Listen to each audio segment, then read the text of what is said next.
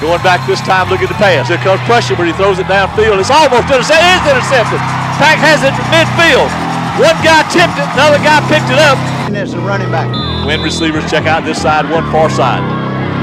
Check goes in the slot. Takes it, hands off to Dejon.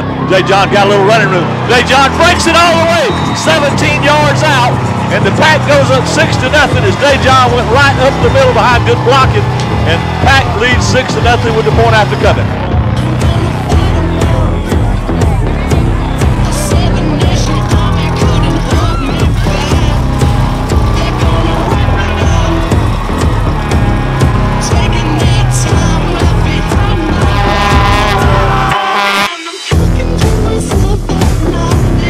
Nothing you can't do, nothing that you can't do as a football team, but it takes a football player believing in yourself and believing in your teammate and willing to fight, scrap, and claw for your teammate.